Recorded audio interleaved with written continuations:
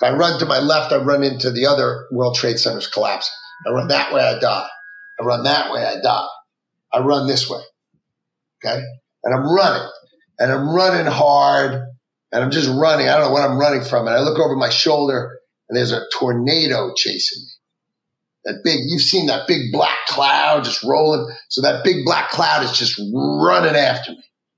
So I'm running, I'm running. There's a, I'm in New York on a sunny Tuesday and I'm running my ass off from a tornado.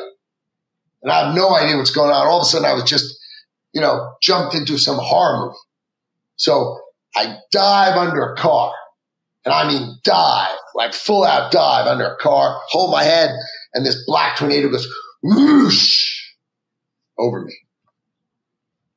And then it's black. And it's silent. First of all, this is my voice. I'm Tim Green and I have ALS. This podcast is not about ALS or living with disabilities. I don't want you to feel sorry for me. I don't feel sorry for me. I am a father of five with a marriage that's lasted for over 33 years. I am a number one New York Times best-selling author of 41 books, an NFL first-round pick with an eight-year career. I worked on TV for Fox Sports, Good Morning America, Court TV, and Extra. I've hosted BattleBots, A Current Affair, and Find My Family. And I am also a practicing attorney. In this podcast, we're diving into real life stories. From triumphs to trials, we'll explore the extraordinary in the ordinary. Join me, Tim Green, and my son Troy each week for real conversations, laughter, and insights. Because life is a journey, and everyone's got a story. My voice in today's episode is powered by ElevenLabs. Howard Lutnick escaped certain death from the terrorist attack on the World Trade Center on September 11th because he was dropping his four-year-old son off at kindergarten. You may have seen one of his many appearances on cable news to opine on the financial markets. Or you may remember the week following that fateful day where Mr. Lutnick was miscast as a villain by the media and some of the surviving family members of the 658 employees of Cantor Fitzgerald who died when the first tower collapsed. Howard, thank you for your valuable time today. Can you start by telling us about your childhood? So I had um, I had a tough beginning. Uh, grew up on Long Island. Uh, parents were uh, educators. Dad, uh, professor of American history, colonial historian. Uh, wrote about uh, wrote a book about how the British press played out the American Revolution. So that's sort of a pretty cool, pretty cool topic. And when I was applying to colleges, it was very simple. We walked to the library. If they had my dad's book, I could apply. They didn't have my dad's book in the library. No shot at applying. That was it. Card. Now those days, you know, I'm 62, so card catalogs, right? Um, mom was a, a teacher, uh, art teacher, and um, and uh, we were on Long Island. So first thing that happened was uh, it was a a heat map of breast cancer on Long Island. And it was in the water. Uh, Matisse Oil, as it turns out, there was a heating oil company that was washing out the trucks uh, with water and just letting it run into the into the groundwater. And uh, and so all the women in that area got breast cancer. So my mother got breast cancer, uh, and they gave her six months to live, and she lived five years. So uh, uh, she died in 1978 but she lived like a tornado. So basically, my mother taught me how to live. So when you give her six months to live, she looked at her watch and goes, "Really, six months?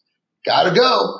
And uh, so an example is I, would be in class, and uh, and the vice principal would come in. You know, the vice principal, of course, is the one who uh, you know is uh, hitting you with the ruler, kind of thing, right? They're, they're the enforcer.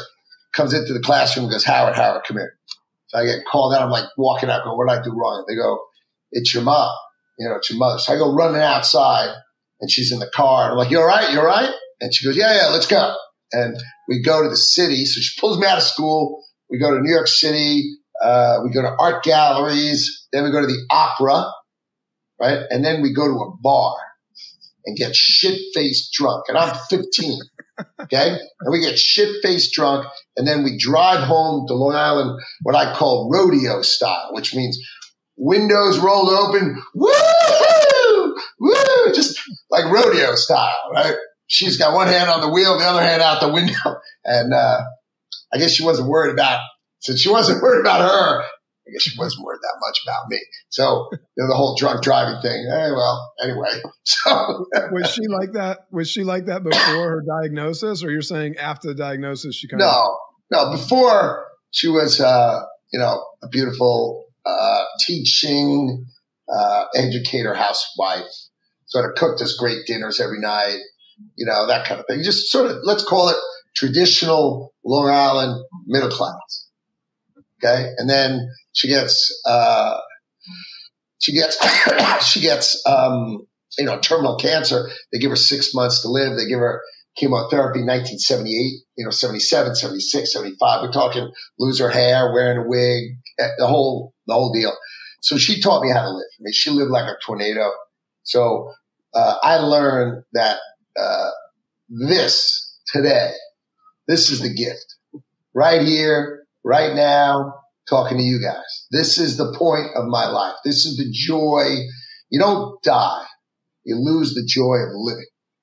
And that's a particular, so you better embrace the world, embrace your joy of life, live every day and enjoy it. So people say, how are you? I said, great. I've always said I'm great. Why? Because the alternative sucks. So this is great. Right. So my mother's living like a tornado. Uh, she dies February 1978. So my father had had cancer before that. He had colon cancer. That sort of rages through my family. So you go to the graveyard and all my aunt, uncles and all, all the men in my family have died of colon cancer far back. So if you ask me how often do I get a colonoscopy, I mean, the question is, when am I not getting a colonoscopy is really the question. I got to get a colonoscopy every year because I just don't want to die for it. I know what the name of the truck is and I don't want that one to hit me. Okay. So I get a colonoscopy all the time. So uh, my dad had colon cancer, but he got a clean bill of health. Just before I go to college, 1979, summer of 79, uh, my father checks in the hospital, he's got a cough. And um, as it turns out, they tell him uh, he's got uh, terminal cancer. His, his colon cancer has come back as lung cancer, and he's got six months to live. Um, so he goes in, first drops me off in college, goes to the first chemotherapy shot. Uh, local hospital on Long Island because we don't have any money. We're not going to like fancy New York like that. Nah, nah, nah. You know, local hospital. Nurse makes a mistake, gives him someone else a dose, and kills him on the spot. Oh, uh, so you lose one parent, it's like one thing. You lose the second parent is a whole nother thing. Okay, it's just a whole nother thing. So at my dad's funeral, at my dad's funeral, my father's brother, he asked me, what am I doing for Thanksgiving? My dad gets killed September 12th, 1979. So first rule, don't hang out with me around that time. It's not really a happy time for me around Sep 11, Sep 12. And then they don't, don't really come that way. So my dad's brother says to me, what are you doing for Thanksgiving? I'm like, Thanksgiving? Isn't that like two months? Isn't that like in November? He's like, yeah, you want to come over for Thanksgiving? I'm like, aren't you worried how we're going to eat tonight? You got me, my brother, my sister. Nope. Never spoke to him again. Didn't speak to my mother's brother or my father's brother ever. They all pulled out because as it turned out, they were afraid we'd be sticky. 18 year old me, sister's 20, brother's 15. And they were afraid, you know, we'd never leave. You think, no, no, no. You bring them in. Like if I had that chance, I'd bring them right in, live in my house. What are you talking about? That's not the way they thought. So me, my sister, my brother. And we are tight. And I mean tight. And we are together. So uh, I drop out of college. I was only there a week. I drop out, make a deal with my sister. I'm going to take care of my brother till you graduate. Then we do the whole swaparoo. I go back to college, and that's how we do it. So I drop out tell Haverford College where I went that I'm I'm not coming back. I'm take care of my brother. Uh, so every night, try to make my brother dinner. Okay. But, you know, what do you think? Think I'm a good cook? I don't think so. So what do you think happens? Uh, every night I try to make something and I screw it up. And then mac and cheese out of a box, baby. Mac and cheese out of a box. It, you can't screw up mac and cheese out of the box. Boil the water, throw in the cheese, throw in the macaroni, take the, the little pouch, mix it up. Every single night I try something else, mac and cheese. So it's about three, four months later, maybe, yeah, right towards the end of the year. Um, I go to sleep one night, I have a nightmare. My brother runs track and, uh, and he's really fast. And I have a dream of him running track and he starts sweating and he starts sweating little macaronis start coming out of his body because I'm starting to think I'm, I'm killing my brother with mac and cheese. I'm actually killing him with mac and cheese. You know, that's all we eat is mac and cheese.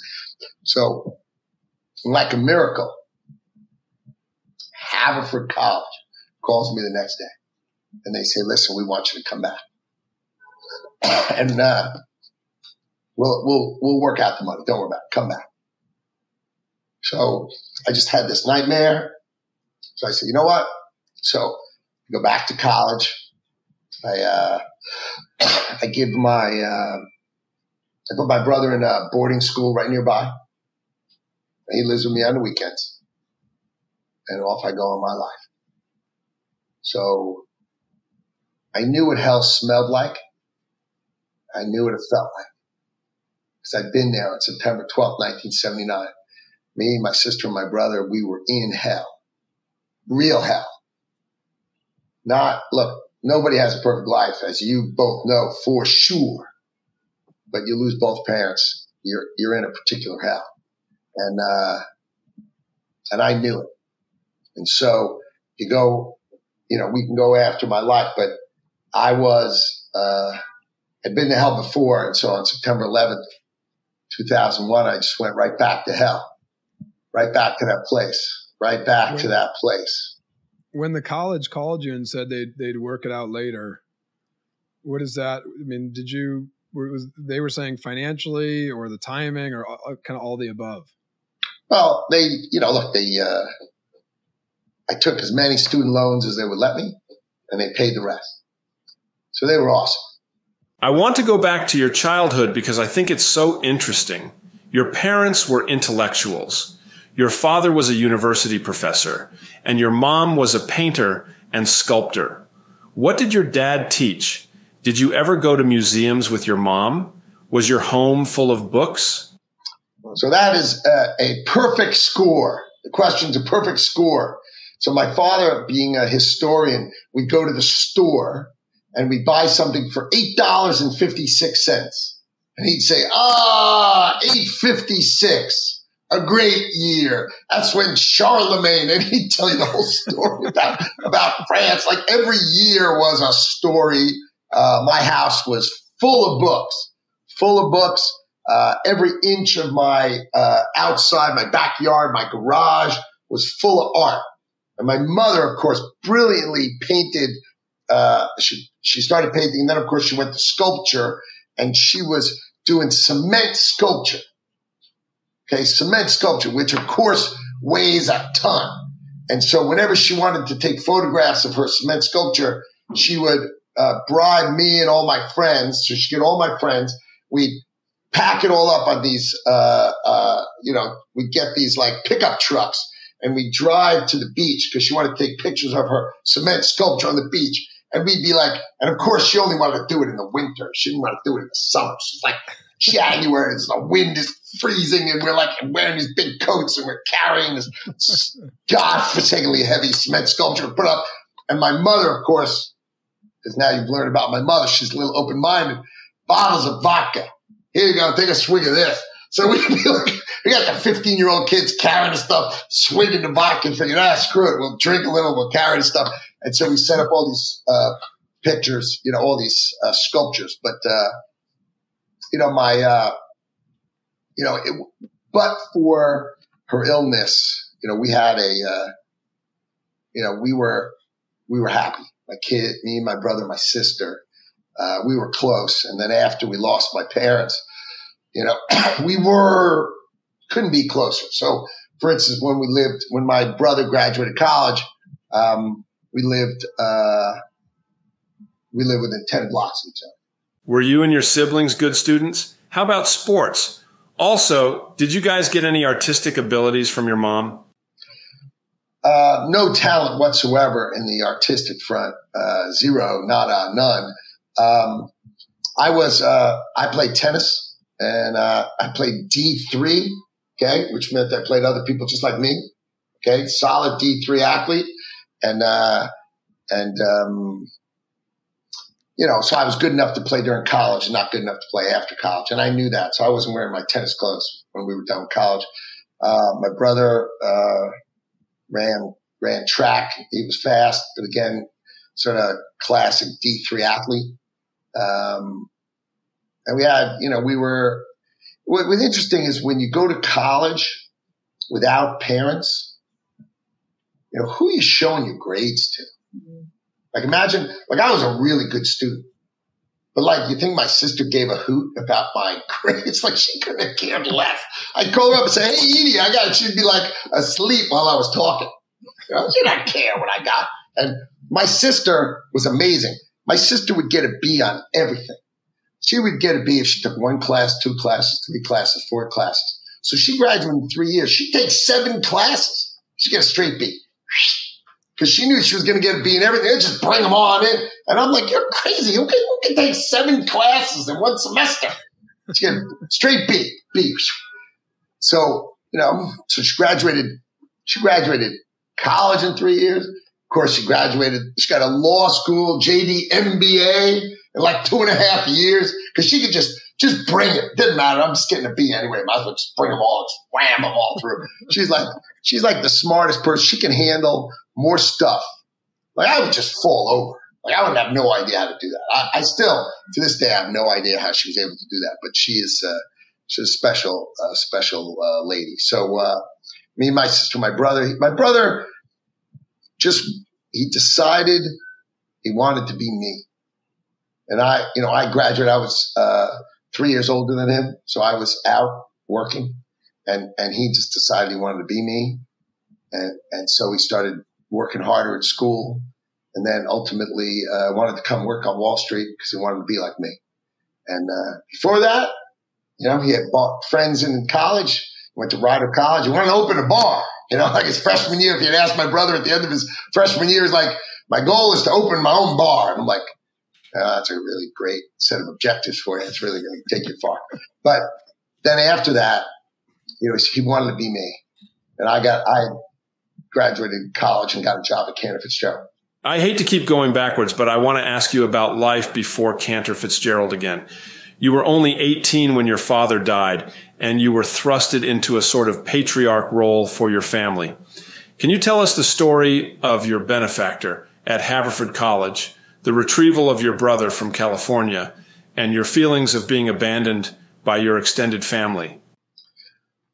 So my my father had uh, just remarried, uh, you know, because it was 18 months, and he, he had just remarried uh, a woman who was uh, also a teacher in uh, in Cal. She was from California. She had moved to New York, and so uh, she decided to. as soon as my dad died, she moved back to moved back to California, and and so she was getting money for taking care of my brother, and my father had a lawyer uh, who was his friend from uh, like elementary school, and he was the family lawyer.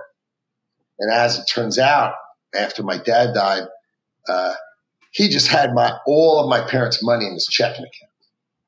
Like he just, you know, he thought there was no one looking, no one around. He would just do what he thought was right. So he had all my family's money in his checking account, and he was just giving my my father's new wife, and they were married like an hour. I mean, they he was just giving her money because he thought, okay, she'll take care of my brother. So she goes back to California immediately, uh, starts up with her boyfriend, uh, her old boyfriend, I guess, and and that guy's not a good guy. So uh, he starts hitting my brother, and uh, So that's that's not going to work. So I fly out uh, and go get him, and that's that's when he I put him in that boarding school. So uh, I usually don't tell that story, but I go out and go get him. Uh, when I go out to get him, I, I don't have any money, so I, I have a friend, and a friend is a friend, and and they let me stay in their trailer. But the trailer is the kind that you put on the back of your car and, and you go like a camper, right? So I slept in there. Okay. No water, no nothing. Just, you know, on, in like sort of on the side where the garbage was. That's where they had, they stored the trailer when they weren't using it. And that's, that's where I lived. And, uh, and then I got my brother and, uh, we moved back to, uh, you know, back to the East Coast and put him in a boarding school and, and took back over my life. How long did that trip take? Like when you went out there, was it a, like you're out there for a day or was it like a week or longer than that to get your brother? Well, it was, uh, like I left school with like, let's say three weeks left and told them I'd take my tests. So, you know, I'd figure it out and the teachers let me go. And so it was like April and then I took my brother, uh, got a job, found a way to get the money to get them back. We had to buy tickets, we had to buy stuff. So my, my sister got a job as a census taker. What that? She was a census taker going around California being a census taker because you get like X dollars an hour. And I, uh, I, of course, brilliantly got a job teaching tennis. Yeah, teaching tennis. So I taught tennis for a little while at uh, the Marin County Country Club and uh, I got an apartment, got enough money, and uh, and then we flew home. So I basically we needed enough money to fly home, and then we uh, and we flew home, and uh, toward the end of the summer we just flew home, and and uh, I ran out of money. Okay, so I was out of money, so I needed college to open, right? Because I had like five dollars. So what I would do is we'd buy spaghetti in a box because it cost 99 cents. And what I would do is, uh, I let I convinced Haverford to open their housing for me. They had like these apartments at the end of the campus a week early, but the rest of the place wasn't open. So I couldn't eat on the, in the cafeteria or anything. So I'd send my brother around and he'd go borrow salt, you know, and the, and the woman next door who lent us the salt, she goes, she goes, how can you run out of salt? like salt costs a quarter for like a bucket the size of Quebec, you know, and like, and, but realize she didn't understand that quarter meant like a lot to me because I, I had five bucks to get me and my brother. Uh, my sister went up to uh, where she was going to school, and uh, I needed I had five bucks to last a week. And uh, then you should have seen us go to the cafeteria the first day it opened. We had like trays with piles of food like this big. We were like, it was the best college food ever, ever. and what about that? The lawyer. I mean, what ended up happening with the the money in your guys and, well, your family money in his account? Were you able to get so, that back? All right. So I go to college, and I'm taking this course the next semester called Ethics and the Professions. Okay, and it's taught by this uh, guy named Frank Fisher. And I remember the guy, a big, tall, lanky guy, and he's teaching this course. And, and then he's talking about ethics and the professions. He's talking about the Hippo, Hippocratic Oath and doctors. And then he starts talking about lawyers. And while the guy's talking, it feels like he's talking right at me because he's talking about lawyer and he's talking about lawyers and stuff like that. And I'm like, I'm thinking about like this guy's check comes from his checking account to me. And like, he, it's like, I'm like, wow. So I need a, I need a lawyer. I figured out. So I need a lawyer. So I get the yellow pages out. Yellow page, like, you know, that's the way it worked then. No internet. You get the yellow, I look up the yellow pages for lawyers and I find a lawyer near the train station. And I take the train, to Penn Station, and there's a lawyer right above train station. So I go up to see that lawyer and I hire this lawyer. What a trash bin that place was. But we hire a lawyer and, and that day, and then he calls the guy, and they say, uh, wait, this guy's name was Bob Frunze, and uh, so I said, uh, call his house. I, I called with the lawyer sitting next to me, and uh, and they say, "Oh, uh, Bob's not here. He, uh, he's in the hospital." So, oh, oh no, he, he said he had a heart attack. And I said, "Oh, he had a heart attack. Is, is he all right? What hospital is he in?" They go, "No, he died." So Bob Frunze had a heart attack like a week before. So the problem is, my money's my family's money. By the way, it's not that much money. Not, let's not overdo it. Okay, it's not that much money, but it's you know, it's tens of thousands of dollars. Which, when you're a kid, and you have no money. It's like money. And, uh, I was going to say when you're when you got twenty five cents for the for the bag of salt, tens of thousands of dollars would have made a world of difference. Oh man, this was vital. So, and it's in her checking account. So she's like, "It's my money," right? And we have to like fight to get the money because I mean, it's not her fault. His widow saying, "What do you mean? It's my checking account." Like, yeah, you know, and so that takes like a year to get the money. Uh, and then, you know, I, I got, I got some money just in time to send my brother on a team tour the next summer. So we sent him on like that, the bus tour across the country, mm-hmm. you know, and, uh, cause I wanted him to start living like, uh, you know, a better life. Cause he was, he was on the weekends, he was living in my dorm room. Right. So he'd live in my dorm room with me. And, uh, you know, it was weird. It was a weird life for him, and, I wanted him to. Uh, so we sent him on a team tour, and it was that was a couple of grand. So I needed the money. I needed the money from the Frunzes. I needed the money so I could send him on the on the team tour, and uh, and so we did it. And you know, it sort of settled down after that. You know, I went to college. My sister graduated. She went to law school, business school. She got a JD MBA.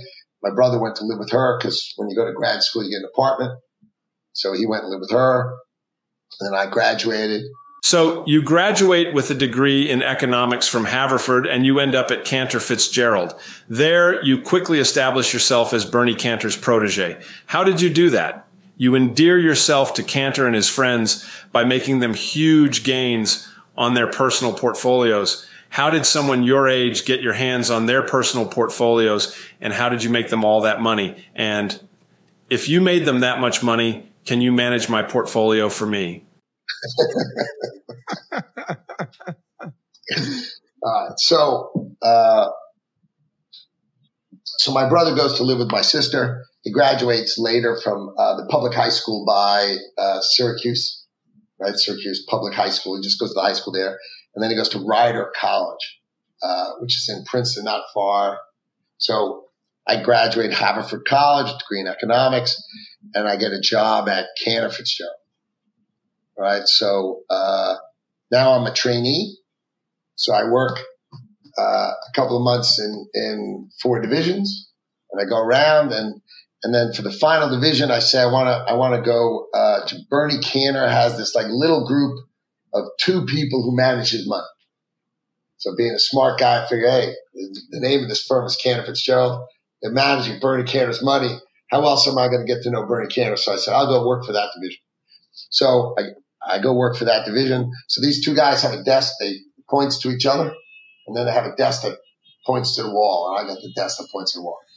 so what I did is I offered to uh, come in early, and I do all the analysis. And when Bernie Cantor would call, he'd want an analysis of everything. Like, so I read every newspaper and I would just tell him what happened. Right. I'd just say what happened today. And he, he started with one of my favorite lines is when I was done the first day, he goes, well, you read the paper with your eyes. I got to teach you to read the paper with my eyes. Because I'm just reading, like, I'm telling him stuff that I think is good, but like, he was like, he was probably bored to death with whatever the heck I was telling him. So he had to teach me how to read the paper with his eye. And, um, so I got to know him. And then in, uh, so I'm, I'm working in this little division with the three of us. and then the boss decides to do something else. And then it's the two of us. And then, uh, that guy leaves. So it just becomes me. So I'm, I'm running this little division of me and I have an assistant. And, uh, a friend of mine mentioned something to me and I'm going to tell you how I made him the first hundred million dollars. Okay. So I'm 25 and a friend of mine says, you know, there's this railroad called the Burlington uh, Northern Railroad, and they have this land, uh, and I think the land is, uh, is, worth a lot. That's what a friend tells me. So I go to the library I look up the microfiche.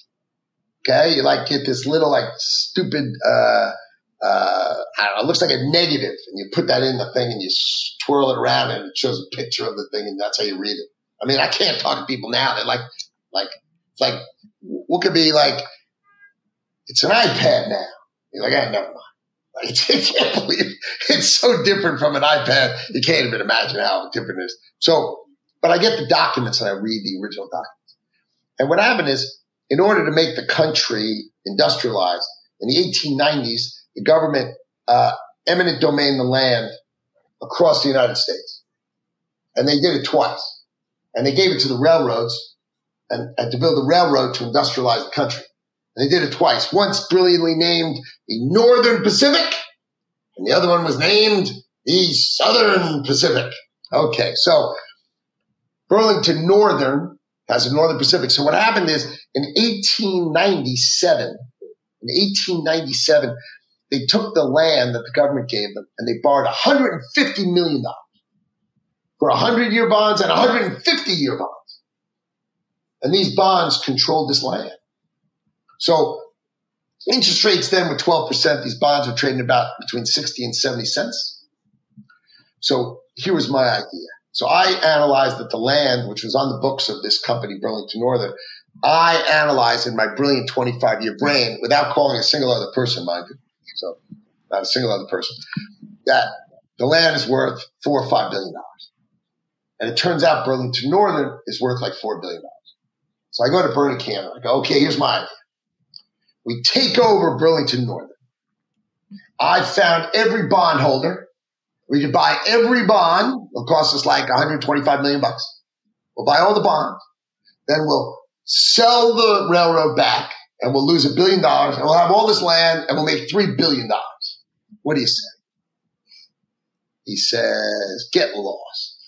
I think he says some 25 year old goes in with this ridiculous concept, taking this, lose a billion, whatever, get lost. So I pound on him because remember, he's got to call me every morning and I tell him what's going on in the world. And then I talk to him and I, I manage all his investments. Manage his investments means he tells me what to buy and sell and I do what he says. Okay. Let's, let's not overdo it like I'm managing. I'm just doing whatever the hell the guy tells me. Okay.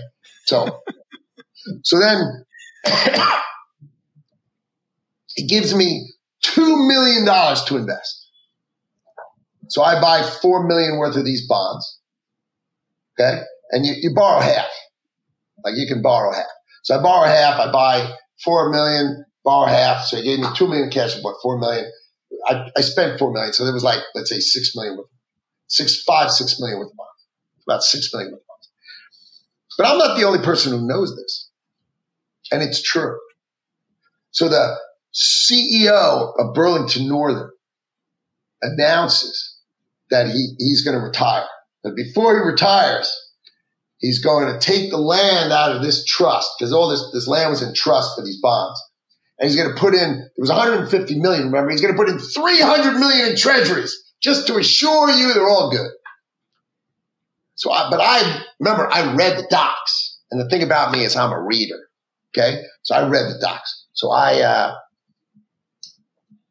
I go, uh, I call everyone who owns the bonds because I know everybody who owns bonds because I did this nonsense. I was telling Bernie to take it over. And I call them all. Remember, there's no video. So they can't see that I'm only some 25 year old kid. and I tell them, listen, we're going to file a proxy. We're going to fight the guy. We're going to block it. They can't touch the land. The land, can, you know, the bondholders control the land. They can't do this. So I, I, hire a lawyer. This time, of course, I'm better. I have general counsel Cantor Fitzgerald who gives me a proper lawyer who has an office and everything. So we send a nasty letter to Burlington Northern. And then I get a phone call from the general counsel of Burlington Northern. And he says, uh, What do you got? I said, Well, I, I have four million worth that I bought at, let's say, 65 cents. Remember, these were 3% and 4% bonds, but interest rates were 12%. So the way you get it is when interest rates go up, the value of bonds go down. Remember, when interest rates go up, the value of real estate goes down because real estate's like a bond. So it just goes the same. So he says, I tell you what I'll do. I'll give you the $4 million and you keep the bonds. So think about it. I paid 2 million. Now this guy's giving me 4 million bucks. So I just made four on two, buying double A bonds, taking no risk at all. Right? And he says, you can keep the bonds. I don't want to switch it. So I call all my guys and they all say yes because they just get free money and they keep the bonds. So they're like nothing happened. They don't have to sell anything. They just get their free money and they keep the bonds. And now Burlington Northern's got the land. So I go into Bernie's office and I say, look, you gave me two million to invest. I just turned it into six. Okay? All right. You believe me now? You believe me now? It's not some stupid bond that, that never's moved more than an inch. You believe me? He goes, yeah, yeah. Okay. What do we do? So to his credit, he buys a hundred million dollars worth of Burlington Northern stock. Wow. Okay. And then Burlington Northern announces they're going to split the company in two. Burlington Northern and all the land, Burlington Resources. Now the land is everything Union Pacific Station, downtown Philly, downtown San Francisco, Chicago, and all the land in between with the mineral rights and everything, right?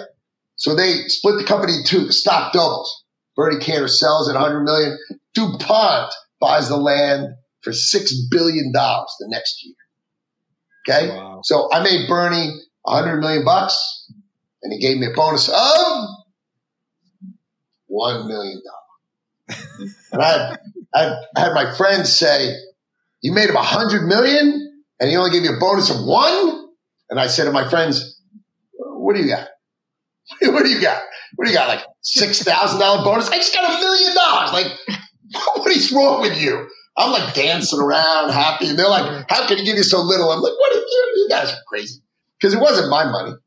Now, two years later, when I came up with another idea, when I walked into his office, uh, he didn't mess around this time. He went, "Okay, what do you got? What do you got? Let's go." and that time, he put in uh, 100, 100 million, and his friends put in 100 million. And then uh, we we invested in Pennsylvania, and he tripled his money. We what bought a six. Okay, so Commonwealth of Pennsylvania. Then there was only state banking, right? You could only bank in the state. So remember, Citibank was New York City Bank. Mm-hmm. Okay, it was New York City Bank.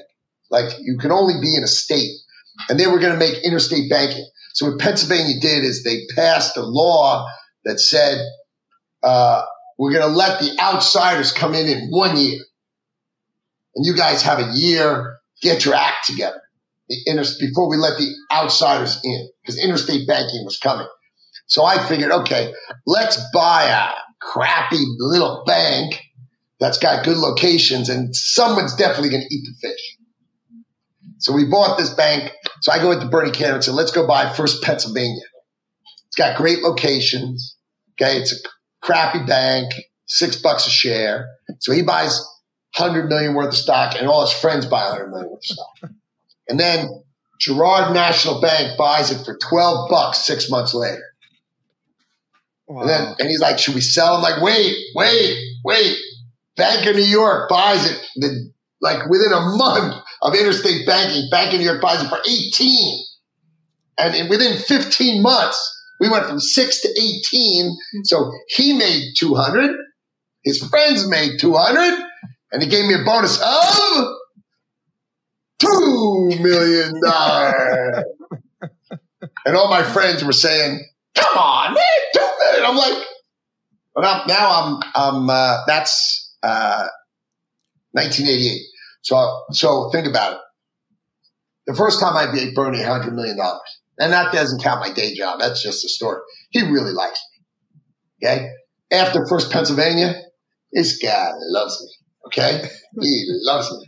And then, and then in, uh, in, uh, 1991, so 10 years, I've, I've, been there 83. So I've been there eight years. Um, I, the company's a corporation. I said we should switch to a partnership. And he says, you can't. there's all these rules and, and you just can't to the structure of the company. You can't. So I, I go do the same thing. I go to the library. I study everything. I learn everything. I go, it's, these are, these are terrible rules. They should change. They don't make any sense. They're old. They're from the twenties and thirties. We've got to change them. So I go get an apartment down in Washington. I start going down to Washington all the time and I change the rules. And he, we in, uh, in September of 1992, we become a partnership and I got the rules changed in April of 92. Bernie Cantor saved 50 million a year in tax for the rest of his life. So the way I say it is, he liked me when I made him 100 million. He loved me when I made him 200 million. And when I saved him 50 million in tax for the rest of his life, family. That's how you got in. That's one way to become a protege. Holy cow. You are running the show nine years later. That's a meteoric rise. You surround yourself with friends and everyone is living large. In the summer of 2001, you celebrate your 40th birthday with close friends by going on an extravagant trip to Europe. Can you describe the trip for us and the party that you threw in London? So, I'm, I'm now his, uh, his protege Okay. Uh, Bernie Cantor uh, dies in 1996. Uh, he leaves uh, uh, his wife his shares and he leaves me his votes. So he leaves me control of the company. I then buy out his wife and, uh, and then I roll on. So that's 1996. Um, we make a rule after the 93 bombing right? There was a 93 bombing. What came in the 93 bombing is that, uh, you know, we lost our offices, but people didn't die. You know, it was just, it was just an incredibly horrible business stress. And, um, and what happened is the, the executives who were there, who were around me, they all started fighting with each other about themselves. Everybody was trying to use the catastrophe to help themselves. And I realized this, this just was not the way to live life. So when we moved back into the World Trade Center, I dismissed them all. Which was crazy, right? You say, wow, really? You moved back in the Trade Center? You've been out a month and the first thing you do is fire the executive suite? So yeah, they were all jerks. All they cared about was themselves. They didn't care about the company. They didn't care about anything. And then we made a rule at the company. We're only going to hire people that we like. So we all have the same rainbow friends the ones on this side, hard working, smart, capable, think of your friends. Now think of the ones on the other side, make you laugh in a bar harder than anybody else, a little crazy, a little wild. And so let's just go hire these on this side. Okay. That's it. Let's just go hire them. and so that was the rule of the company. So everybody hired their friends. So I hired my brother Gary. Uh, I hired my best friend Doug. I had my other roommate uh, from college. His his brother went to Harvard Business School and he ran banking for me. Uh, you know, we hired basically everybody. We hired everybody who was who was your friend, who was capable, and then uh, and that's the company. And, and we love the company, but it's all little pockets of people who love each other, not one big happy family, just pockets. And uh, I turned 40 that summer, and I have a big party in London, and I I have 50 people I work with at the party out of 150. 50 people out of 150 work. And this is my party. So this is not, these are people I love. You know, all these people I love. And uh, it's my 40th birthday. And uh, I win. I win. Like I declare victory. Like I, I have the best life. Uh, I, I'm working with people I love. The firm is killing it. We're making money hand over fist. We're making so much money. I have no debt. Zero. The company, Cantor Fitzgerald, no debt. Zero. When you make money, who needs debt? Now I got debt. Yeah, okay. I'm investment grade, but I got debt. I had to rebuild the company. We have to have debt. But then I we were just happy. And I literally, at my party, I declared victory. What's victory? 40 years of age, beautiful young children, great wife, working with great people, really working with your friends, loving everything. Couldn't have been happier. It was as good as it could be. Uh, and that was July 14, 2001, two months before 9 11. Two months before. 9 11 was a gut punch for every American. But for you, Howard, it was nothing short of apocalyptic. Can you please describe that morning for us? So I, uh, I took my youngest son, he was three, to his, uh, dropped him off at nursery school. And then I took my next son, my oldest son was five, to his first day at kindergarten. Right. And he, and, uh, his kindergarten's on 90th Street. So I have a picture of me. He's got, he's got uh, little wet hair. He's wearing a little backpack. And, uh, then when you took a photograph, they would put the time on the lower right hand corner in like an LED little orange thing. Like I'm so old, all these people listening to this thinking like, what? anyway, so so I have a picture of me with my son in front of the school at 846. Plane hits the building 848. Okay, so I'm I walk upstairs. I got a flip phone. Phone keeps ringing, no one on the other side. And I'm I'm mad at the phone. I'm thinking, can't they just leave me alone and take my kid to his first day of school? Why, someone always got to call me? Um, it was my brother trying to get me. Uh, he was in the building. He uh, spoke to my sister. So uh, an administrator comes and says, um, uh, "Mr. Lutnick, planes hit the building, uh, and they're looking for you." So I tell my wife who's next to me. She goes, "I'll go with you." I go, "No, no, no. You stay. You stay. I'm going to go downtown." I, I thought it was like some Piper Cub, some moron flew really close to the building, clipped his wing something like that, you know, something stupid. You remember, I didn't see it on TV. I didn't hear anything. That's all I got. So I get in the car and uh, got a retired police officer as my driver. And I said, let's just head to Fifth Avenue because I listen. I work down at the Trade Center, so I know, I know it cold, and I know the the soonest place you can see the building is on Fifth Avenue because you can see it right down all the way down. And uh, so I go to Fifth Avenue and I see the bell, the radio's on, and they're saying a big plane at the building, and you can see the smoke coming up. Right, so that's bad. And uh, then we see the building, and it's top of the building's on fire, and it's our building on fire. Right, the one, the one with the big antenna. And uh, my driver starts crying. And I'm like, "Look, Jimmy, we got to get there. We just got to get there. We just got to get there." Um, so we're we're driving to the building, and everybody's running away, and we're driving there. So I get I get out of the car and I run to the door of the building uh, on on this side of the street, on the sort of next to Vesey Street, and I'm grabbing people. There was a Borders Books for Barnes and Noble, like that bookstore right there. So I'm grabbing people as I come out that door, trying to find someone um, from my from my firm. And we were on 101 to 105. 106 is a catering hall. 107 is windows in the world. I got the greatest office in the world. Okay. Really postcard view from every window, my office or the Statue of Liberty's armpit. You can see her holding it up. Like you can see everything. And I'm grabbing people because I know there's 20 doors. And if they come out of this door, they're coming out of every door. I just need to hear one person come out of my floor and I know they're streaming out everywhere. But the highest floor I get to is the 92nd floor and uh, and I'm just grabbing people as they come out.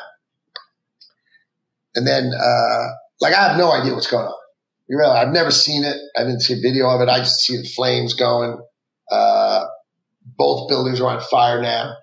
Um, I have no idea what's going on. Okay. And then I hear the loudest sound I've ever heard in my life. I'm sitting there in a suit and tie, shoes on. I hear the loudest sound I've ever heard in my life. So I start running. I, I don't know what I'm running from, but I, I just start running. And I think maybe another plane's going to hit the building. I, I, have no idea what's going on, but I hear this noise so loud. Um, so I run this way. I run to my right. If I run to my left, I run into the other World Trade Centers collapsing. I run that way, I die. I run that way, I die. I run this way. Okay. And I'm running and I'm running hard and I'm just running. I don't know what I'm running from. And I look over my shoulder and there's a tornado chasing me. That big, you've seen that big black cloud just rolling. So that big black cloud is just running after me. So I'm running. I'm running. There's a. I'm in New York on a sunny Tuesday, and I'm running my ass off from a tornado, and I have no idea what's going on. All of a sudden, I was just, you know, jumped into some horror movie. So I dive under a car, and I mean dive, like full out dive under a car, hold my head, and this black tornado goes whoosh over me. And then it's black and it's silent. And I'm just holding my breath. Now I'm not smart enough to pick up my shirt, put it over or something. I, I don't know. I'm, I'm, I'm just holding my breath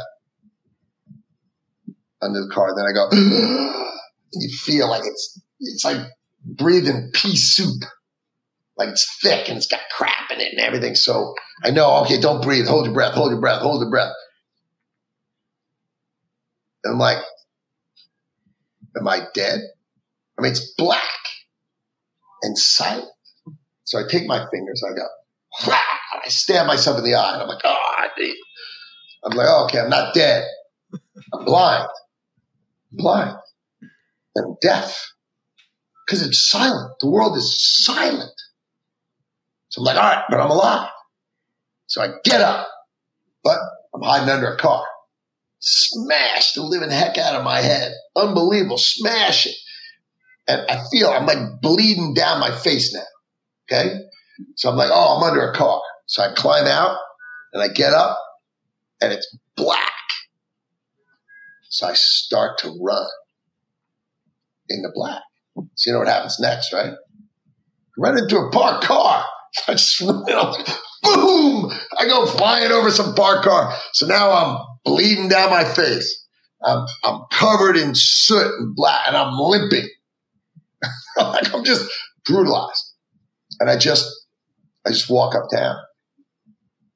And I just walk uptown. And I walk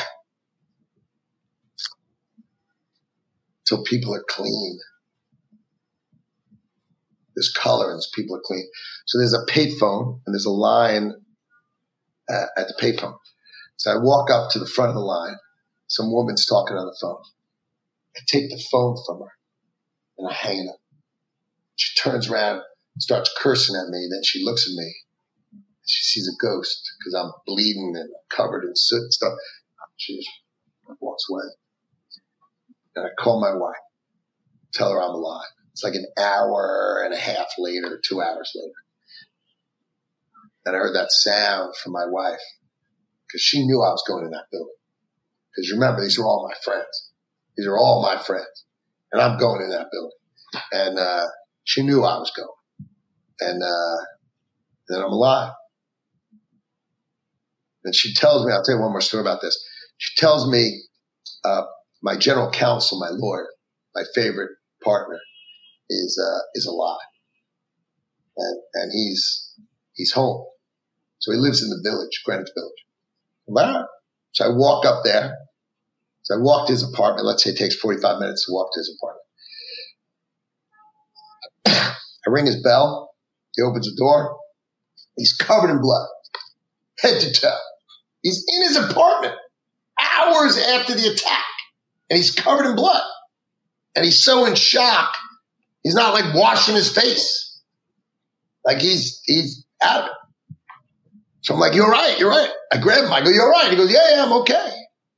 I go, whose blood is it? He goes, I, I don't know. He was in the elevator of the World Trade Center. So they had these elevators. They go up to 78 real big and fast, and then you switch floors to the next set. He was in that elevator when the plane hit. So elevators don't crash. They rappel down mechanically. They have like brakes come on and they just slowly go down. And then the doors jack open and he went running out of the elevator. So think about this. The plane hits the building. The gas from the plane goes down the elevator shafts. So it finds the elevator shaft that goes to windows on the world. It goes, the gas goes all the way down to the lobby and explodes. Boom! Fireball in the lobby. Burns a couple of my employees, kills one of my employees, burns another, uh, one of my beautiful employees, 70% of her body and uh, the fireball. So he's running out of the elevator. Fireball goes by. Huge amounts of broken glass. he steps out covered with blood. He stepped between the broken glass and the blood. Got splattered with the blood. Has no idea who's it is. And he's in his apartment, standing there, not washing his face, not changing his clothes, because he's just in shock. And then, and then I see what happened on the television. And then I leave his apartment. I stand in the middle of the road. I flag down a car that's going uptown. You know, remember, I'm, I'm you know, now I've washed my eyes, but otherwise I look like I was flushed down a, a chimney and uh, stop the bleeding, but my I'm covered in you know, whatever. I go, I asked the guy to drive me uptown. Guy drives me uptown. I go see my best friend Doug's widow, Jennifer. Because I knew he was in the building and I know he's dead. Because I died, I almost died and I was outside. So I know there's no plan, chance that these guys are alive. And uh, I go see her and I, I want her to see me like, you know, covered so she could understand. And I hug her and uh, tell her he's gone.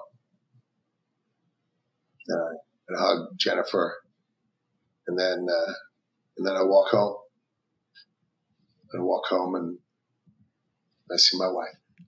You, said your brother tried to call and then, but he got a hold of your sister. What, what was his message? I mean, he was in the building, right? Yeah. So he, he gets my sister on the phone. She's like, Oh, thank God, Gary, you're not, you're not there. He goes, Oh, I, I am there. And, uh, I'm calling to say goodbye. Uh, there's no way out and I'm going to die. And I just want to say goodbye. I tried to call Howard. I can't get through. Just tell him I love him. I love you. I'm sorry. And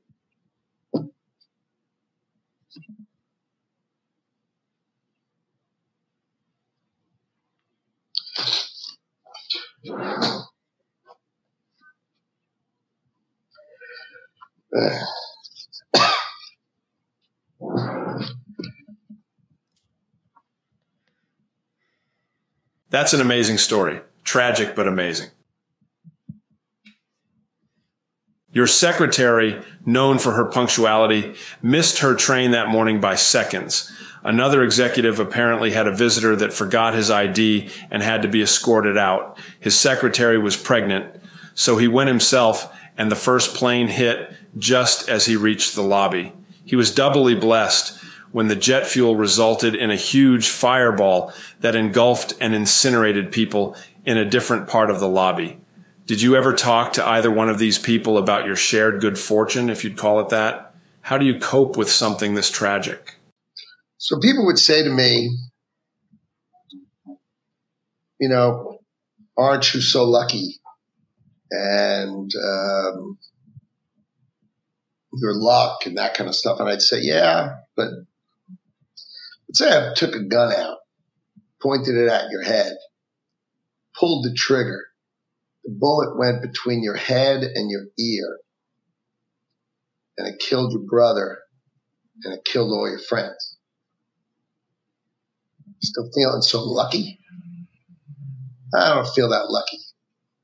I feel, um, I mean, of course, I get to kiss my my wife. I get to spend my life with my spectacular children. Um, so in that respect, of course, I'm lucky. But the concept of the bullet missing my head and hitting my brother and all my friends, yeah, I don't, I don't think of it as lucky. I think of it as it's a shrug. You know, it was a shrug. I wasn't there. There was no greater reason that I was there. I don't buy that. I don't buy that God wanted to save me, but he wanted to kill all my friends and my brother. I, I, I don't buy it. I just, I just wasn't there. Look, I wasn't there that morning because my son had his first day of school and, uh, you know, I'm a big fan of Horace Mann. Started school that day. September 11th, first day of school. Way to go. But, uh, you know, yeah, you know, my friend Dave, a guy who, who went down because his You know, his wife was pregnant. These are all, that's my best friend from high school. Best friend from high school. And uh, he was in the lobby. And my secretary, uh, Marianne, you know, she had a boyfriend. He worked at the firm. You know, she lost her boyfriend.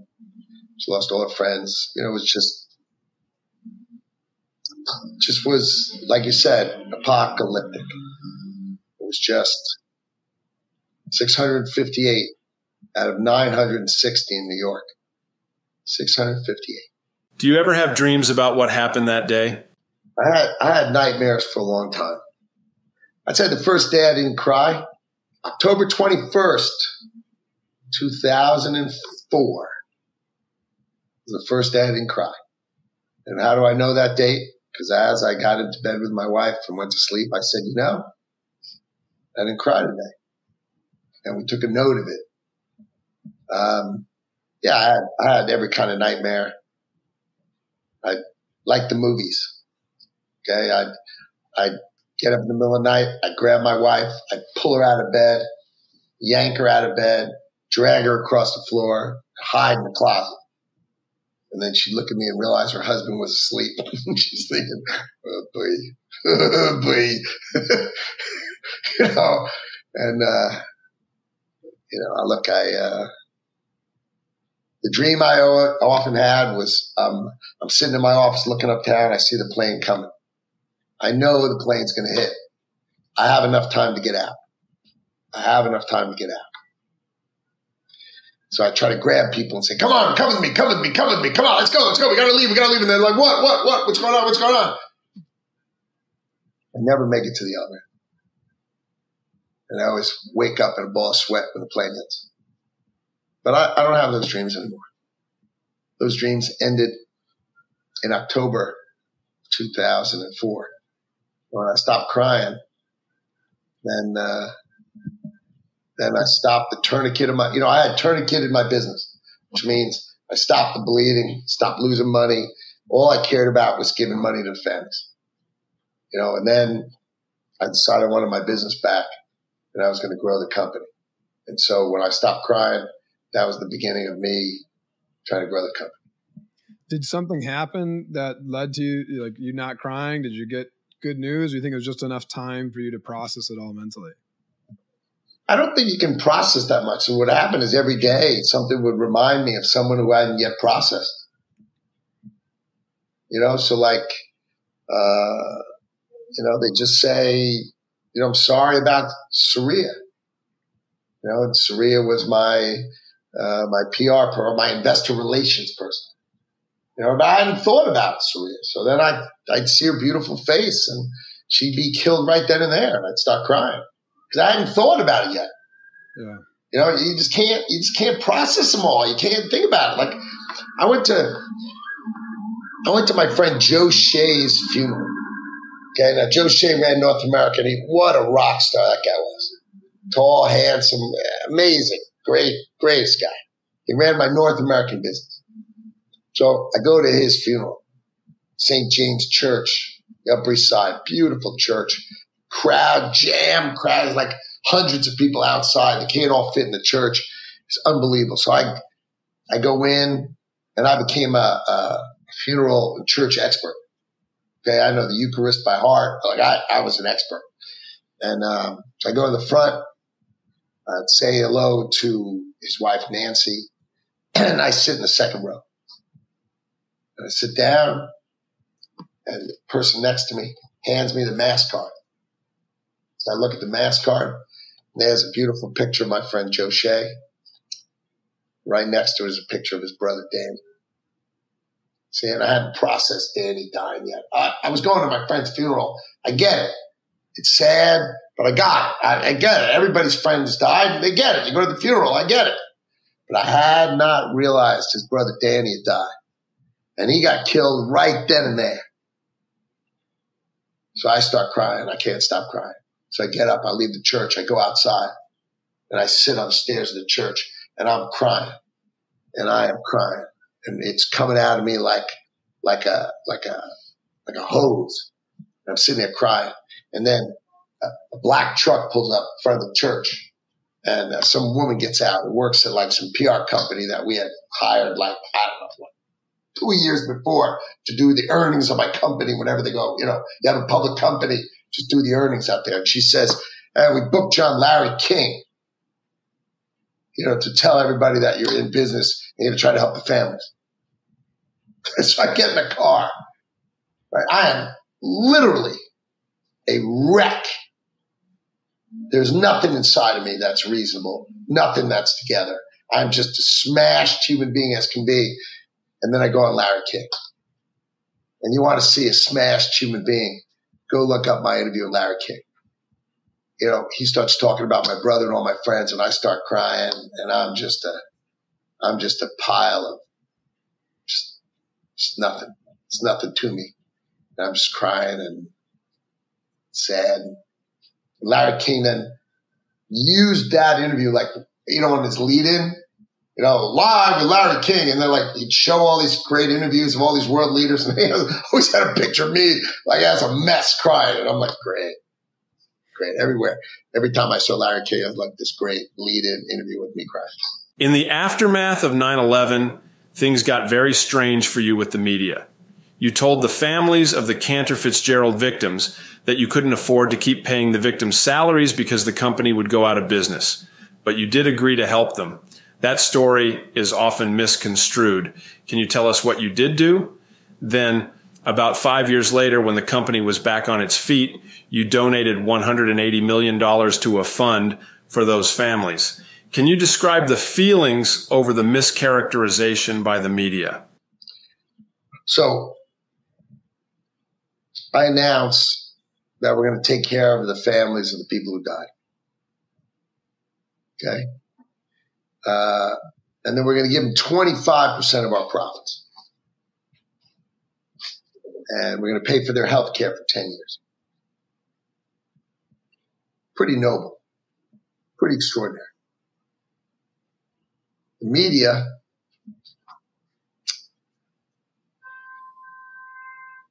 Twenty-five percent of nothing is nothing. Can't have a guy like me cry. It's got to be fake.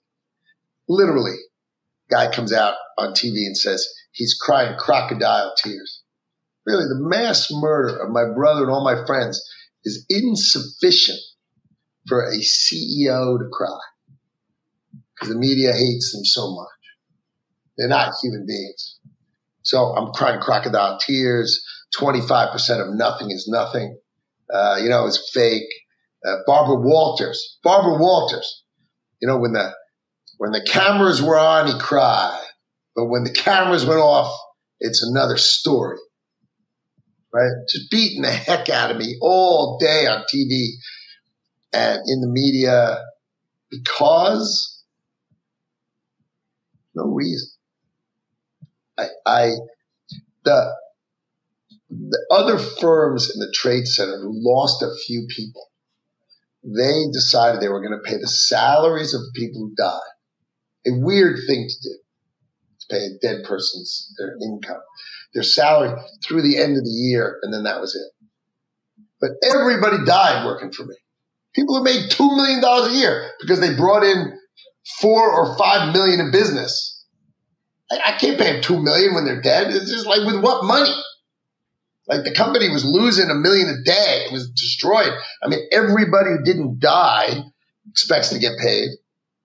There's no revenue. No business. We're not like the next day, we're not saying, oh boy, let's go out and make some money. You know, this place is it's just, bleeding out of every pore of our body. And uh, I'm just trying to figure out how to survive. And the media just treats me like a pinata. You know, the first thing is when I announced that we're going to give them 25% of our profits and pay their health care for 10 years, the media sort of builds me up. And then you know how that works. The media builds you up and then they, they cut you out. So all of a sudden, I'm like Mr. Evil. I'm a villain. Like what, what in the world did I do? Nothing. I offered to rebuild the company, take care of these families. And then the media is just beating the pants off every day, every single day. You know, Bill O'Reilly every day, every day. If he doesn't come on this show and I'm getting death threats, uh, you know, it's, it's unbelievable. The next plane should fly into your house. And then so we get to like the middle of October and I figure out how big does the company need to be to survive? And then, you know, companies on Wall Street, they have capital to do their business. So I figure out what we need to survive and I send in families $90 million. Just whatever money we had, just send it out. And, uh, the media just stops. They don't know what to do with someone who does what they say they're going to do. They just leave me alone. They just stop. And then I tell people what I'm really doing, which is every employee who joins us agrees to give 25%, not of our profits, because there aren't going to be any profits. Come on, let's face it. What profits they are going to be in this company? We give 25% of our payroll. Every employee who joins us agrees that if they were going to make 200 grand, they're going to make 150 grand, and we're going to give 50 grand to the families. So I start sending the families money all the time, right away, because they need the money now. They don't want the money in some other date. And now the media doesn't know what to do. The Financial Times, you know, it's like an orange pink newspaper, the big newspaper. They named me the man of the year in 2001. And, uh, and then the New York Times Sunday business section on like January 2nd or January 3rd, the first Sunday in the new year, writes a couple of thousand word story apologizing. Puts the top of my bald head on the top of the page and my toesies on the bottom, some picture, and just puts me on the full thing and we open it like this. And they apologize for being jerks during that period of time when they were writing nasty stuff about me. And what did I do? I did what I said I was going to do. But our employees, I mean, think of, think of these employees, right? They, they join and they give 25% of their money. It's like you joining and you agree to give 20. Like, what did you do for this? But, and if people didn't do it, okay. So in 2008, like the problem is how do I go forward with my life? I've got these hundreds of people who've given 180 million dollars to these families, but they gave it themselves out of their pockets, and they they're not they're just amazing human beings. So how can I go forward and make money and build something? Can't do it. So what I do is uh, we, we take one of our divisions strong enough now. In April of 08, we decide to take a division public. Uh, and we take the company public but it's a weird offering. What we do is I, I give my shares to all my employees and they sell. So let's say you, you join me and I was going to pay you 200,000, but I only pay you 150. So you give 50 grand, then you give 60 grand because you got to raise, then you give 70, 80, 90. You give 300,000 bucks over those five years, right? I gave you 600,000 worth of stock. You sold 300 in the IPO. So you got a check for 300 grand. So we're square. And you got another 300,000 in stock because God bless you. You saved my life. You stitched my insides together when I needed it, when I needed it. Okay. So think about that for a second. Okay. What's the turnover at this company? Lowest. Who's got the greatest employees? I do. What percentage of the company do they still own? 30%. So it's the model of this place. The employees own the company. Who works for who? I work for them. They work for me. They have 30%, I have 20%. Why, why is that? Because once upon a time, my employees saved my life. And I love them. Are a lot of those people still there? A lot of those uh, employees that came, you know, to your aid in the twenty five percent. Well, it's a lot of years. That's true. So yeah. it's been the answer is lots, but it's a lot of years. You know, it's 20 odd years and uh, a lot of people still here. But, and I employ the kids of people who got killed. So I had a job offer. Uh, any kid, any kid, if someone got killed working for us, we'll, we'll give them a job. We'll train them, teach them, and never. So I got a square. I had to be square with the widow or the widower, right? I mean, who wants their kid to go work where their husband or their wife got killed? You know, so you got to proof to them how much you love them, and never underestimate the opinion of a 22 year old. a 22 year old. So I've had like 130, 140 kids come work for me. So think of that, what that means, how well I did with their families. They know I love them. They know I love them. Now I have about 32 here now today. And someone just told me a story how, uh, I was just in in Washington at a dinner, and some guy at my table comes up and says he married uh, a widow, one of my guys, and his kid was and the kid was troubled, and never could you know focus in school, and wasn't good at school, and dropped out of college, and couldn't hold a job. And they said, you know, we remembered that you promised to offer everybody a job. So Howard, you don't remember this, but I called you. And my wife called you five years ago, and you said, "Okay, great."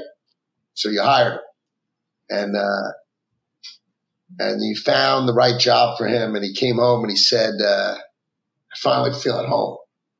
Yes, you saved my son's life. His son worked for me for three years, and then he joined the Green Beret. You know, so you know that was like a story. That was a story told to me in 2024, like a month ago, by some guy named Tony. I still don't remember his last name. Um, yeah, the, the ripple effect must be amazing. All those families, all the kids, all the yeah, all of it.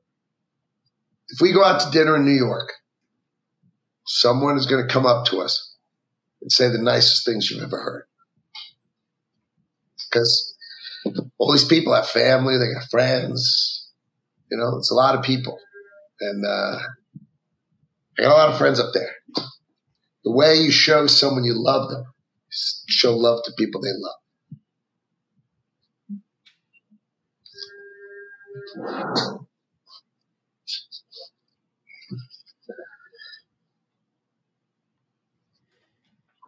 I don't usually tell the story very often because yeah. no, it's it's beautiful. I mean, the story is the story is uh, my dad always would say to me, "The truth is stranger than fiction." I mean, that story is just unbelievable. Howard, you and your wife Allison's generosity knows no boundaries. You're a major patron of Haverford College and the Guggenheim Museum, just to name a few. And I know personally that your philanthropy extends far and wide because several years ago you made an unsolicited donation to Tackle ALS a website that my family and I set up to funnel donations directly into Massachusetts General Hospital's extensive ALS research efforts. Thank you for that. God knows how many other things that you support. But what's your latest charitable focus? Well, thank you for telling me I did not I didn't know when I agreed to do this that I had any history with you guys at all. I just thought what you were doing was amazing, trying to raise money for ALS. And I thought it was beautiful. So I just agreed to do it for that reason. And now I'm proud of myself for having been there earlier. That's good. that was good. But, uh, so every year on 9-11 or the business day closest to it, if it's on a weekend, we host a charity day. All my employees waive their day's pay we ask our clients to do as much business as they possibly can. And, uh, and all that money we give away to charity, we give it to like 150 different institutions. And what we do is we ask the charity to send a celebrity spokesman. And the reason we do that is because, um, I don't want my employees working their tail off all day and going home negative. You know, I worked all day. I worked really hard, and uh, the firm gives it all away. Instead, what they do is they go home and they see their kid and they said, you know, I worked for charity all day, and look, here's a picture of me with Peyton and Eli Manning. And they go, wow, dad, you have like the coolest job ever. I'm like, exactly. Right. So that we have Gronk, he, he, you know, he slams the phone on the ground and we had Lady Gaga comes and sings poker face and we have everybody come. We have, we had, when Hillary was running against Donald Trump, we had, a, we had Donald Trump in the morning and Hillary in the afternoon. Okay. So we, we, we have everybody because you know, it's a beautiful thing to do, and we give away about 12 million bucks a year. Uh, someone once asked me, "Why do you give away twelve million? I said, "Because uh, whatever we raise, I top it off." so I don't want I don't want to say, "Oh, we did a little more, a little less one year next," so I just top it off. But uh, then we give we do small things all year long, and then we do some big things. So we do our, we do uh, disaster relief. We went to you know, when Hurricane Sandy was in New York, we adopted 19 elementary schools. We go to Houston when Hurricane Harvey, went to Puerto Rico with Hurricane Maria, went to Moore, Oklahoma when they had the tornado.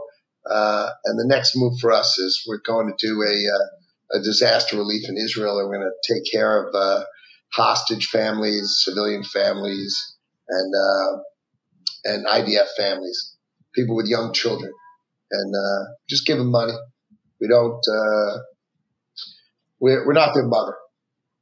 Okay. We just give them money and, and we tell them to do the right thing for their family.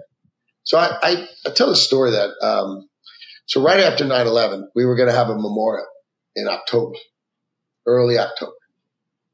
Um, and so I called this young woman named uh, Julie Heumann. Her, her husband was Jonathan Heumann, a total great guy. And I asked her to speak at the memorial. And we were having a memorial in October. Uh, and there were about 5,000 people came because you have 658 people and they got husbands and wives and children and friends and cousins. And she said, Howard, I can't because I'm going to Disney. And I got to tell you, it blew me away. I'm thinking, Disney?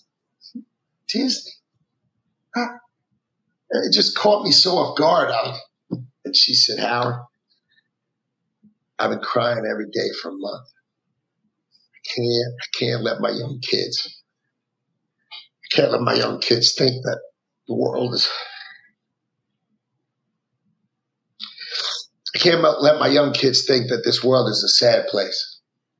So I'm going to suck it up and I'm going to take them to Disney and get them to smile. And I'm thinking to myself, oh my God, this is the strongest person. Really, this could be the strongest person in the world. And what I learned that time is if you look at women with young children who've gone through a disaster like this, and you look really closely at their feet, they're not walking on the ground. They're walking this far over the ground because these are the most extraordinary, most powerful human beings because they'll do anything to protect their family. And she went to Disney when she was the saddest person on earth. So our disaster relief is very clear. I want to put money in the hands of young women, let them take care of their family. And if that's not politically correct, I don't give a damn. These, these people are the most extra, extraordinary people on earth, and I've seen it. And there's nothing more powerful. That's amazing. Can we get your views about the conflict in Israel going on right now? well, see, people misunderstand. They say Islamophobia. There's no one who's afraid of someone who worships Islam. There's only one thing people are afraid of jihadophobia. Someone who wants to kill everybody who's not in their religion. Yeah, that's worth. So I understand jihad. Jihad killed my brother. Jihad killed my friends. Islam did not kill my friend. Muslim did not kill my friends. Jihad killed my friend. Jihad wants to kill the West. They want to kill every Jew, and then they will kill every Christian, and they will kill every Hindu. And if you don't understand, go watch the movie Hotel Mumbai. 12 jihadists from Pakistan with bags full of ammunition and submachine guns go into India to kill the infidel 1 billion 200 million Hindus. Kill the infidel. So I think people who talk about free Palestine, this is a setup paid for by anarchists or people who are have a wild thing that want to destroy America. Because jihadists are the scourge of the West. And so you saw jihadists. They think they're making points with God to behead a baby, to rape and kill women, and to butcher people. This is not the same as our planet. This has nothing to do with our planet. This has to do with a religious fundamentalist who's gone way over the deep end. And you either wipe them out or you will suffer the consequence. I suffer the consequence. Make no mistake about it. My firm was killed by jihadists and they were happy to kill every American and they were happy to kill more Americans. And when the world finally realizes that the West all of it. The one thing they should destroy is anyone who believes in jihad. Has nothing to do with Islam.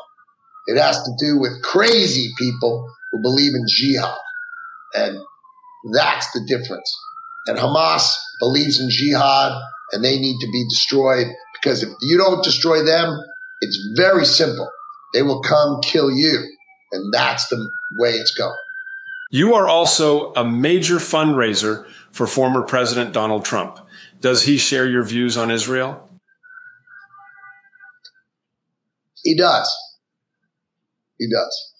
Howard, I would like to give you the opportunity to talk about the most important people to you your wife, Allison, and your four precious children.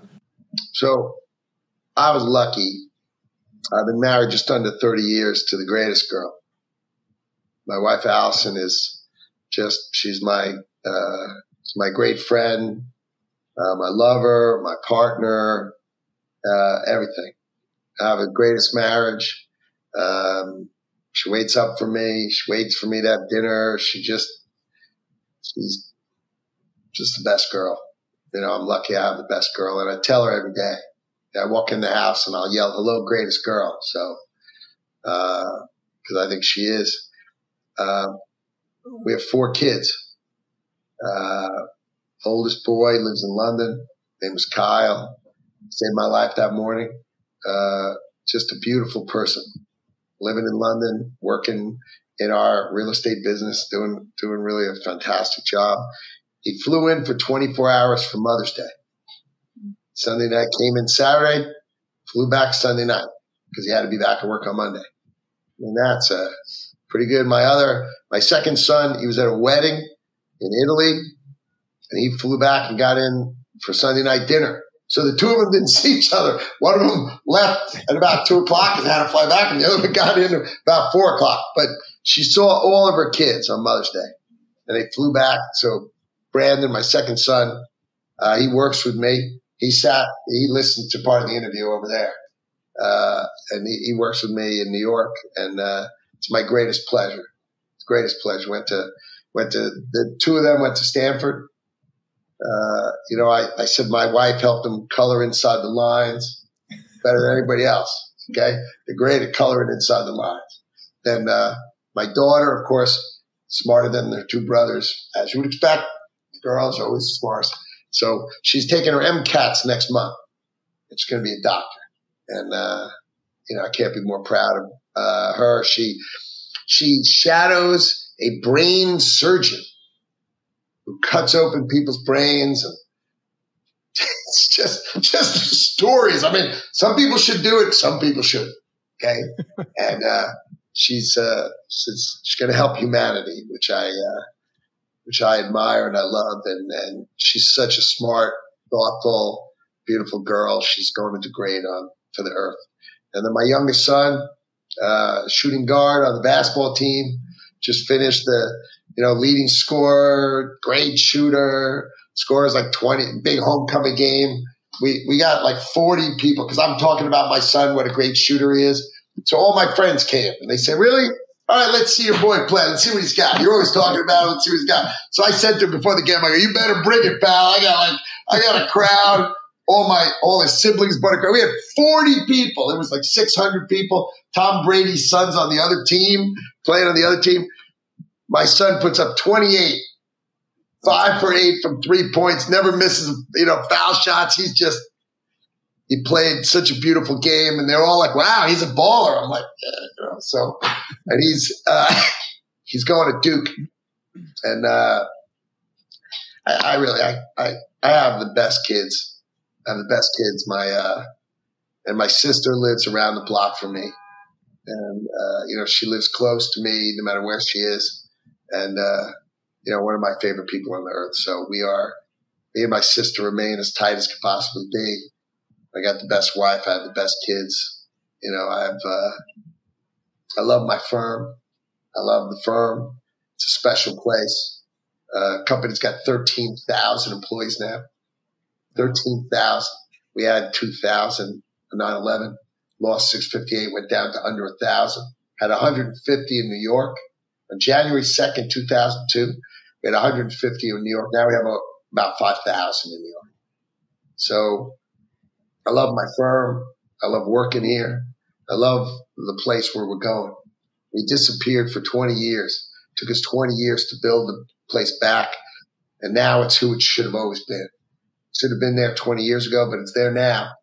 And this is an amazing company. It's got Newmark, a great commercial real estate firm, fantastic commercial real estate company. BGC, Bernie Cantor's initials. I go like this because his portrait hangs over my desk right over there. And uh, named it for his initials. In 2005, he died in 1996. Why didn't you name it HWL? Because I love that guy. Because I love that guy. And uh, I just, I've been through a lot. I've been through a lot, but I got great people around me. I love them and they love me. And, uh, and this is the joy of life. Love it. Live it every day. Because this is it. This is the gift right here, right now flashing back to 22 years ago at your at your 40th birthday do you feel like you've you're back on top of the mountain and you've achieved victory again where you're at today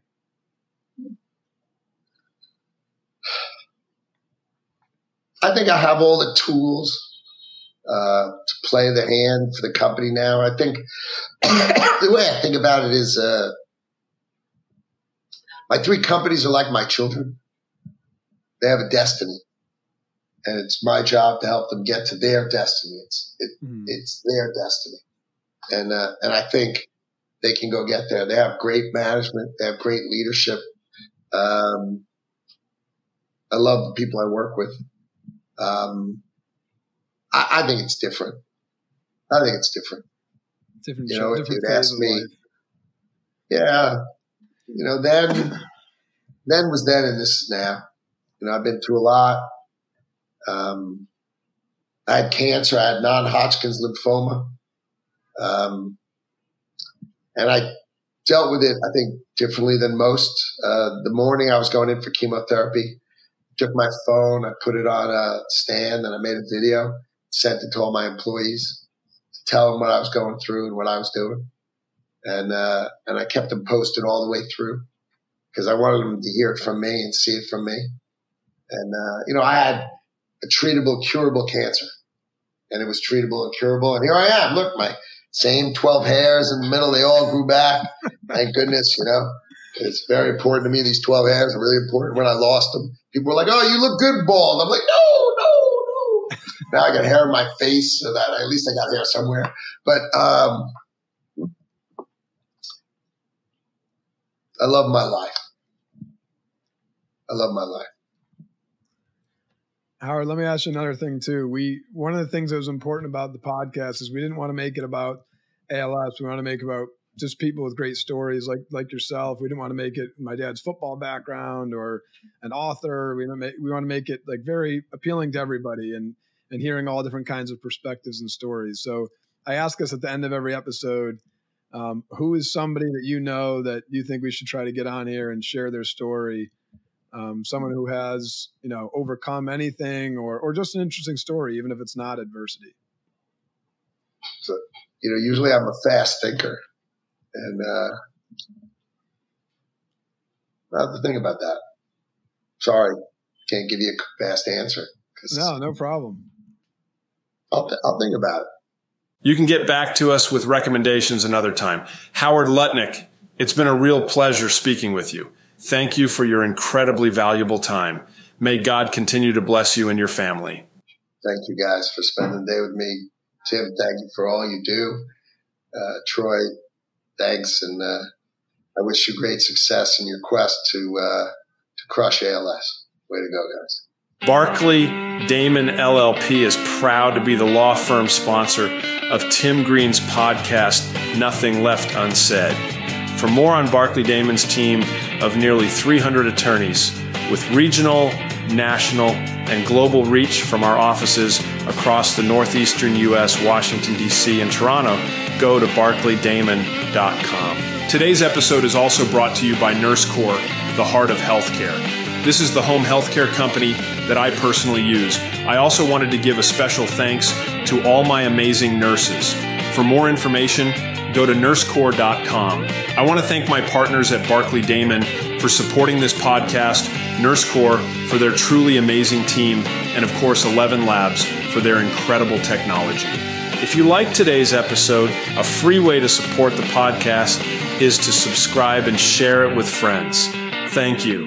A significant amount of these sponsorships go to tackleals.com. For cutting edge ALS research at Massachusetts General Hospital, if you want to make a contribution, go to tackleals.com.